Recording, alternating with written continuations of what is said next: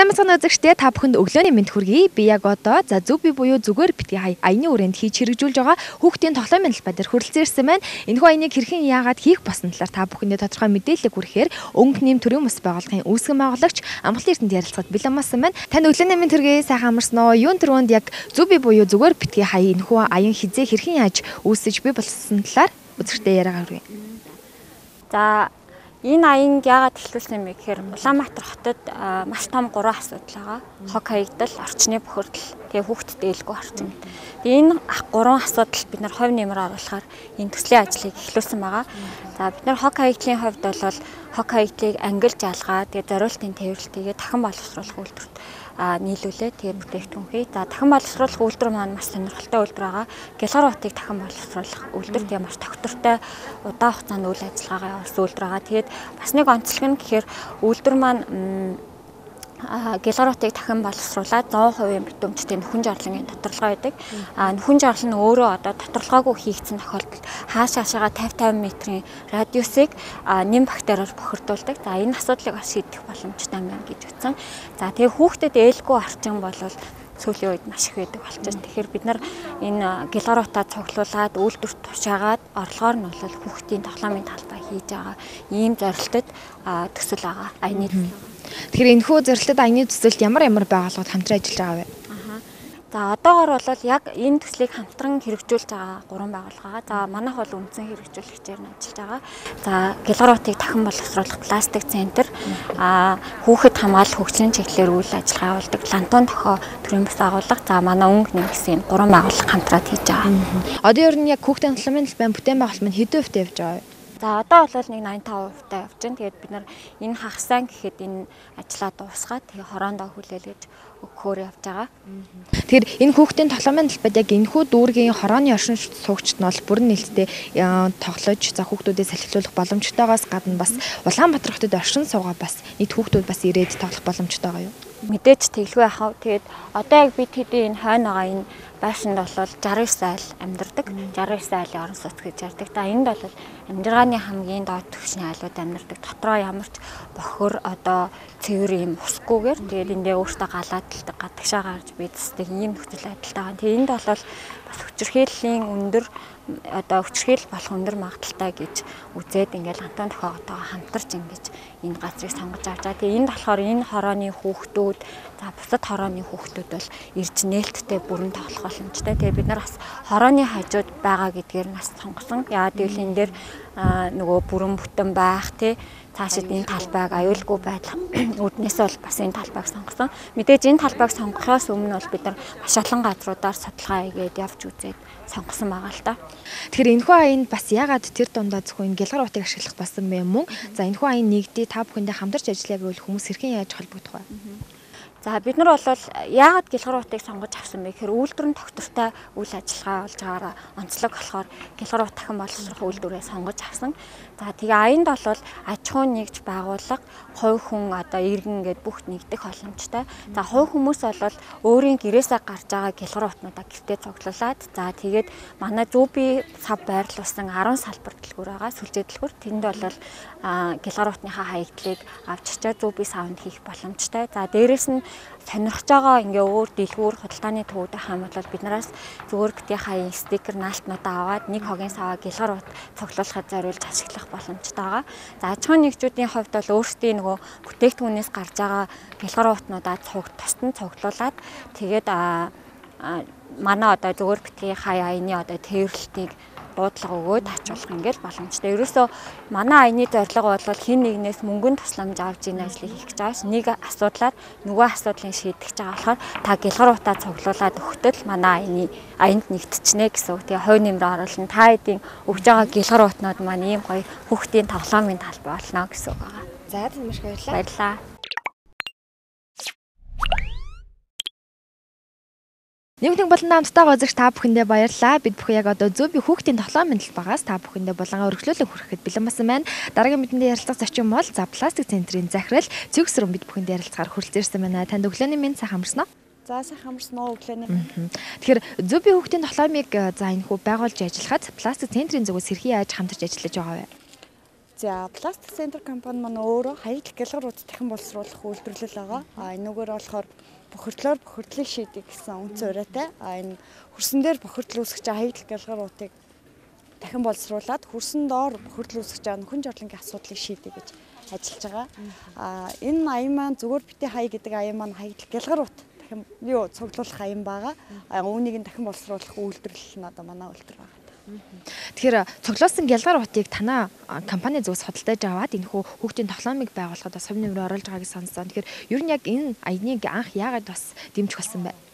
За одоо бид хэд хүн болгоо мэднэ те хаашаач харсан хаасайгүй л хаягдл гялгар ут байдаг. А энэ маань болохоор үйлдвэр дээрээ яг очингууд дандаа түүхийд материалын дутагдaltaд ордог. А энэ олон хаягдж байгаа гялгар ут маань цуглардггүй А тэгээд өөрөө хөнгөн жинтэй тэгээд айгүй их ор хэмжээтэй болохоор ер нь түүхийд материалын дунд дутагдлалт байнга орсоор байсан.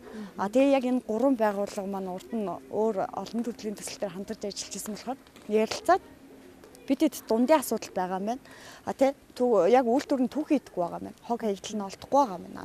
Энд одоо хүүхдийн тоглоомын орчин бас хангалттай биш байгаа юм. Энд хог хаягдл ангилагдахгүй байгаа юм байна. Энэ гурван асуудлыг нэгтгэхэд нэг шийдэл гаргаад те энэ дундаасаа ингээд юм сайн улсын аян болгоод юм аян ийм төсөл хэрэгжүүлье гэж анх ярилцаад санаачлаад өмнө нь байгуулах маань санаачлаад аян нэгтгэж орсон байгаа. Танай компани зүгээс гялгар утыг цогцлуулаад эргээд гялгар утаараа дамжуулаад өөр ямар ямар одоо бүтээгдэхүүнүүдийг ямар ямар хөрөнгө оруулалт хийж болох вэ? За манайх яг гялгар уутаа цогцлуулаад нөхөн жорлон буюу одоо нөгөө нэг нийт Улаанбаатар хотын 90 гаруй хувь нь одоо доторлогоогүй нөхөн жорлон ашигладаг тийм ээ. А энийг болохоор 100% битүүмжтэй нөхөн жорлон үйлдвэрлэх А тэгээд лагер цэцлэнгийн айлдаагаа бол нөхөрсөндөө бохирдол үүсэхгүйгээр юм жорлонгийн доторлогоонууд хувцраар хийгддэг ба. Ерөнхийдөө үндсэн ганц юу нь болохоор 11-ээс 1 тонны багт амжтай савнууд хийгдэж байгаа. Тэгэхээр за маань нэвтрүүлэг үзэн маа үзэгчид маань бас танай компани хамт олонтой хамтарч ажиллая. Өөр дахиад өөр аяны хүрээнд өөр төсөл төр хамтарч ажиллая гэх юм бол ямар одоо мэдээллүүдээр холбогдож дамжуулагдсан та бүхэнд хамтарч ажиллах боломжтой вэ? Ерөнхий пластик центр гэ пэйж хуудас маань байгаа. Тэргээр холбогдож болно. Аа өөр бас манай 743 80 гэсэн дугаар байгаа энэ хоёроо. За тэгэхээр зөв би хүүхдийн тоглоомын талбайг одоос 85% одоо бүтээн байгуулалттай явж байна гэсэн. Ер нь яг ингээд үр дүнгээ харахад тань ямар сэтгэл төрж байна вэ? Энэ маань бид хэд нэгдүгээрт те одоо бид эдний мөнгөн хандив ингэж гуйгаагүй а дээрэс нь байгууллагуудыг хогоо бид хэд таньдаглаач энэгээр айгүй амар юм нэг үнц нь бид хэдэд мэдрэгдэж байгаа эргүүлээд энэ чинь зүгээр яг л нэг 2 сарын өмнө эн чи яриа байсан те одоо тэгтэл өнөөдөр бид энэ газар дээр зогсож штэ. Энэ айгүй өөрөө үрдэн өөрөө айгүй том нөлөөлөл болох болов хүмүүст хоккей гэтэл чинь зүгээр л хайчих биш. Тэрийг англи ялгаснаар байгальтаа нэгдүгээр хүчирхэл үүсэхгүй байна те. А дээрэс нь ахаа хүүхдэд тоглох тоглоомын тоглолт бай бий болгож байна. Энэ айгу өөр үн цэнтэй болохоор сэтгэл айгу өндөр байна. За маш баярлалаа. Үзэгчдээ бид өргөжлөлн лантуу тохио төрөмс баглан тэргүүндээ туудахгүй ярилцгална.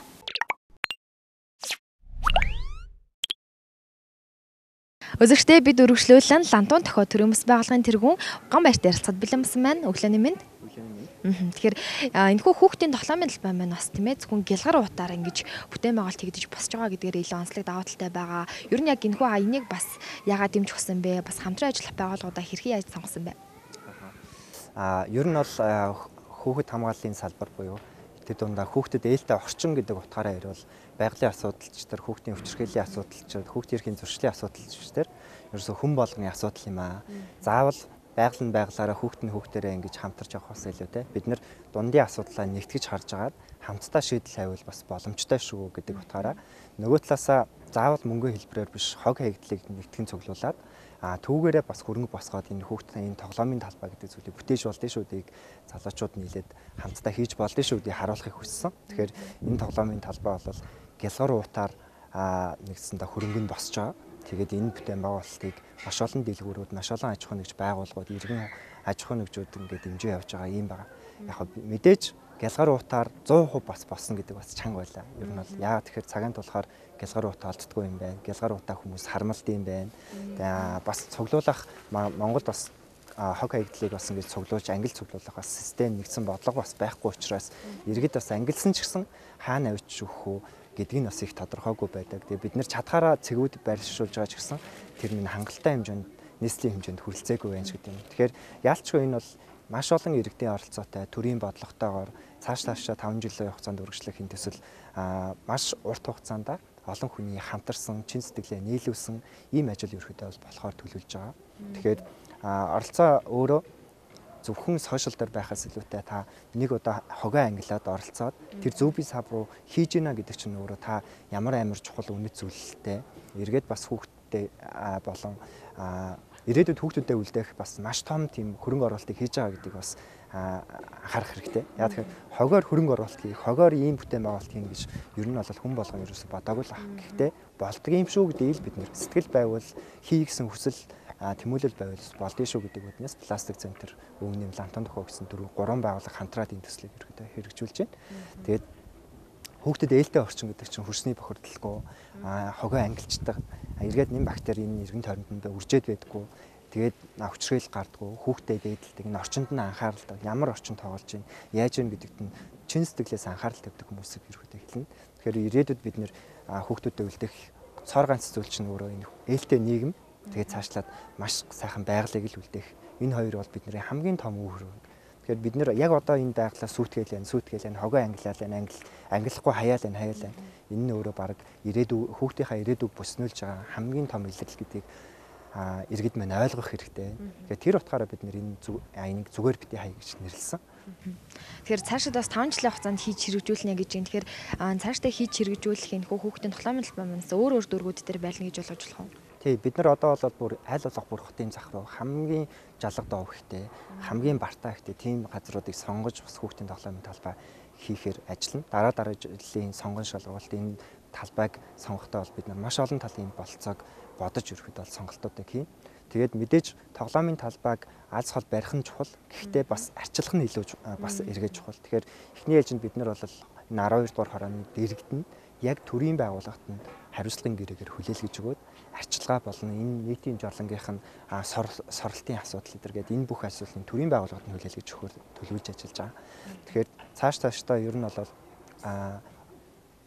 төрийн болон төрийн бус байгууллага бусад байгууллагууд ерөөсөө энэ хамтын ажиллагаа гэдэг зүйлийг олон талаас нь хараач. Хамтын ажиллагаа гэдэг чинь чиглэлийнхаа байгууллагатай хамтрахаас илүүтэйгээр өөр салбаруудтай салбараа бүр өргөн хүрээнд томоор нь хараад ингэж нэгтгэж хамтарч ажиллаад бодиттой том өргөн үр дүн гаргахын жишээ юм байна. Тэгэхээр энэний жишээ нь өөрөө энэ гурван байгууллагын хамтын ажиллагаа юм болоо гэж бид нэр бол дүгнэж байгаа. Тэгэхээр энэ дээр бол лантон тохоо гэсэн амбиц, өнгөн нэм пластик гэсэн амбиц биш. Бид нэр зөвхөн асуудлаа харсан. Тэгэхээр асуудлаар асуудлыг шийднэ гэсэн уриатаагаар та хогийг ч хүчрхийлэгч зүгээр бити хаяач. Энэ асуудалтаар та хариуцлагатай байгаа ч энэ өөрийнхөө орчин дээр орчноо бити өөрийнхөө гараар сүйтгэж тэр нь өөрөө ирээдүйд таны хүүхдэд бидний хүүхдэд хор хохиролтой ийм процесс олно. Бид нар одоо энэ тоглоомын талбайн одоо шууд хөрсийг ингэж хуулж үтсэн. Тэр чигээр хог гарч ирж байгаа. Хөрс биш хог гарч ирж байгаа. Тэгээд дээр нь жорлон ороод ирж байгаа. Тэгэхээр энэ асуудал чинь өөрөө нийгмийн түвшинд хамгийн хүнд асуудал болсон ийм процесс байгаа шүү гэдэг дахин дахин сануулмаар байна. За маш баярлалаа. Эх орны ирээдүйд басан хүүхэд багчуудын төлөө бас ийм хэрэгтэй ажлуудыг хийж хэрэгжүүлж байгаа танаа багийн хамт олонд хамтран ажиллаж байгаа бүх байгууллагуудынхаа хамт олондоос өндрөөс өндөр амжилтыг хүсэж байна. Маш их баярлалаа.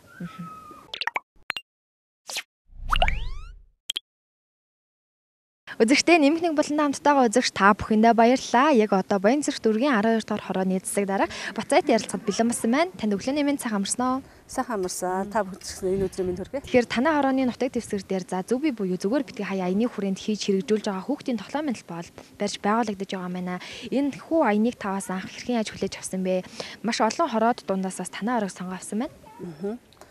За тэгээд энэ лантон тохоо төрийн бас байгууллага за пластик центр за зүгээр бүтгээ зүү бигээд тийм ээ. Энэ гурван байгууллага маань ингээд за энэ хогоор энэ сайхан бүтээн байгуул хүүхдийн тоглоомын талбай одоо сүүлийн нийгэмд хэрэгтэй байгаа энэ хүүхдийн тоглоомын талбай хийх гэж байгаа Тэгээ газар сонирхоод явж байна гэж явж исэн.